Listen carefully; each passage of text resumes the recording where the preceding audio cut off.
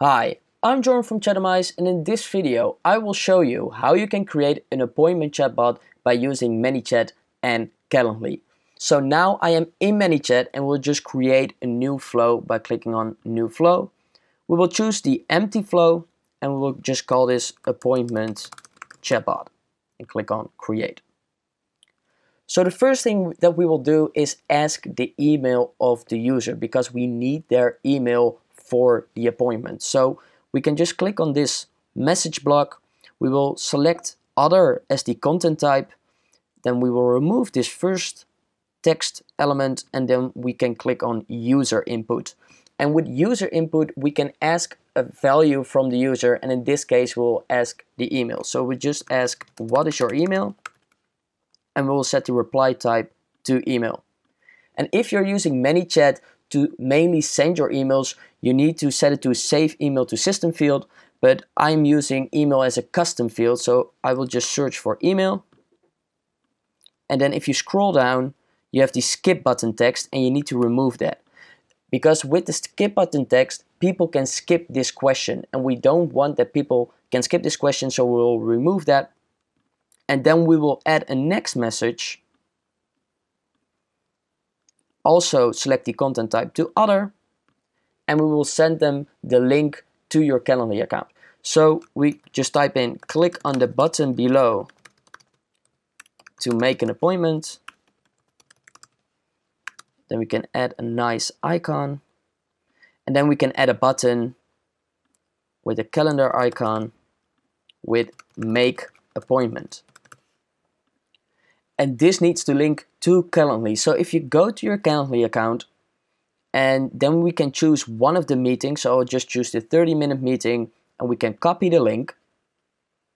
And if we go back, we will set it to open website and here we can paste our link. But what we can also do is add the name and add the email. In this way, if people click on this button and they go to Calendly, their name and their email address is automatically pre-filled. And this will highly increase the conversions that you get from your Calendly appointment booking system. So what we can do is add a question mark, type in name, then is, and then you can click on this button and search for first name. And then we'll add an and icon, and then you can say email is equal to email. And then you can click on done.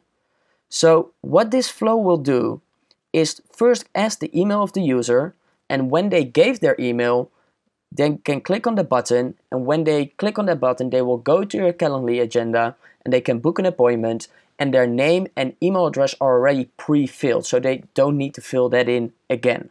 So now we can click on publish. So the next thing we need to do is connect ManyChat to Calendly. And we're going to do that by using Zapier. But before we're going to do that, we first need to create a custom field. So if we go to settings and then choose for fields, then we can add a new field, which we will call appointment date. And this is a custom field that we will use to store the date of the appointment. So we set it to type and just click on create. So the next thing we need to do is connect ManyChat to Calendly and we are going to do that by using Zapier. So if you go to zapier.com and I already have an account and I'm already logged in, we can just click on make a zap and then we need to add a trigger. So when will this zap start? And this zap starts when a Calendly event is created. So we will just search for Calendly Choose the event, which is invitee created. Click on continue. Then we need to choose our Calendly account, so we just click on sign in to Calendly. And then we need to find our API key. So if you go back to Calendly and click on integrations, then we can just copy this API key and we will paste it over here. Be sure that you don't share this API key with anyone else besides yourselves because then they would have access to your Calendly account and that's not something that you want. So next thing is we need to click on continue And then if we go to Zapier, we have successfully connected Zapier to Calendly. So we can click on continue and test the trigger. So that's working. And we can click on continue. The next thing we need to do is find the user ID of the ManyChat user by using the email that is provided through Calendly. So here we need to search for ManyChat and then we need to choose an event and the event is find user by custom field. Then we can click on continue and we're going to choose our ManyChat account. So I got multiple accounts and I will just connect Chatimize. And then we can just click on continue and we can set up the action. So we will choose as a custom field, we will choose email because that's the one we already set up in our flow. So in our flow, we already set up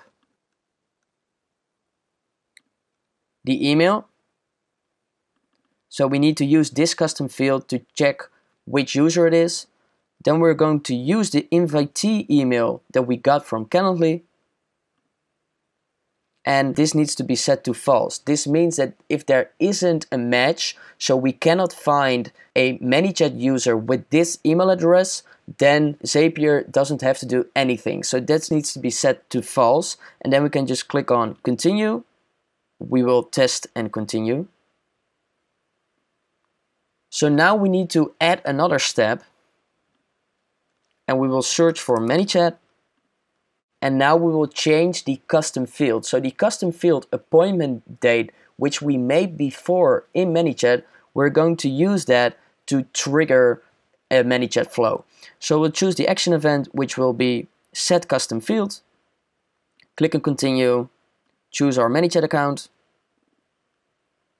click on continue, and then we're going to set up the action. So the user will be a custom, and then if you click on this and click on show all options you need to scroll down all the way to the bottom and then scroll up a little bit until you see user ID and then we're going to choose the custom field appointment date which we made before and the value will be you can click on invitee created in Calendly then show all options and then the event start time pretty and then we can click on continue. And then we can click on test and continue. And this is working. So what this zap will do is when someone books an appointment with you, it will get the ID of the user in ManyChat based on the email we got from Calendly.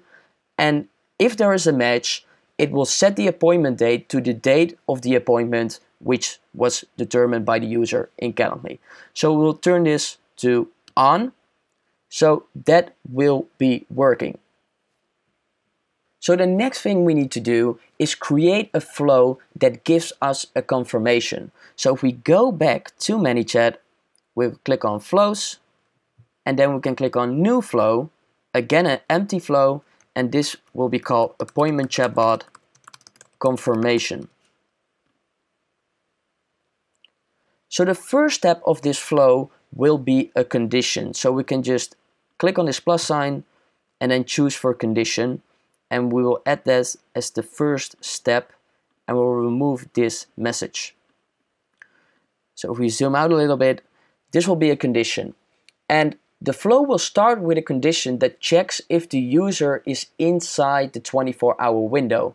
And if you're not familiar with the 24 hour window, I will add a link in the description to a blog article in which I describe it in detail. But it basically means that you cannot send messages to users who haven't talked with your chatbot in the last 24 hours. So we need to create a check on that.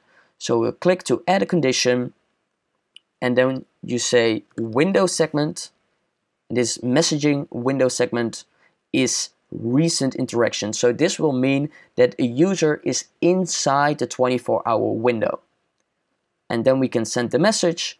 We will set the content type to other and we will say thank you for setting up an appointment and then we can add the first name of the user. We look forward to meeting you on and then we can set the appointment date. So this is when someone is inside the 24 hour window and we can just copy this message. And if someone is outside the 24 hour window, we can use the confirmed event update tag. So we'll connect it to the condition, but instead of using the other content type, we will use the confirmed event update. And then we can click on publish. What this flow does is that it will provide a confirmation once someone has created an appointment in Calendly and it doesn't matter whether the user is inside or outside the 24 hour window because if the user is inside the 24 hour window it will use the other content type and if the user is outside the 24 hour window it will use the confirmed event update tag. So you're always compliant with the Facebook rules. And the last thing we need to do is create a rule. So if we go to rules, click on custom rule we will set the name of the rule to appointment set and then when this happens, so this is the trigger, when will this rule trigger? Well, that happens when the appointment date is set. So we will set it to custom value at has changed. And we will call this appointment date has changed to any value. And when that happens, the trigger will be start a flow, and the flow will be appointment chatbot confirmation. So we're going to select this flow, save it, and activate it. And that is all working.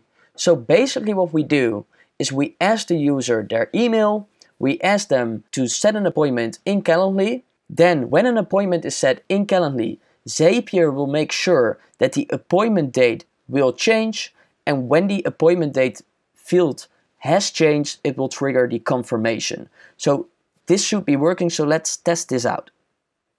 So go to appointment chatbot, edit the flow, and I will just click on preview. And then inside messenger, it will ask, what is your email? This is my email. Then we can click on make appointment. Then I can just schedule an appointment. So just choose a random time and you already see that my name and my email is pre-filled. This all comes from ManyChat. Then we can click on schedule event and then the event is scheduled. And this will trigger the rule. And as you already can see, thank you for setting up an appointment, Joren. We look forward to meeting you on this time and this date. So that's amazing and that is working. One quick thing to add, if you want to create this, you need a Calendly Pro account and you also need a Zapier Pro account. Because for Calendly, if you want to use integrations, you need to have a Pro account. And for Zapier, if you want to have multi-step zaps, so if you have a zap with two steps, then you can use a free account. But because we're using three steps, it is a Pro account. So that's what you need for this appointment chatbot. And that's how you create one by using ManyChat Zapier, and Calendly. If you have any questions about this appointment chatbot or on how you can use Calendly, ManyChat or Zapier, please leave a comment below and I will reply as soon as possible. If you want more videos on how you can use chatbots in your marketing, please subscribe to my channel. And if you haven't done this yet, also click the like button below.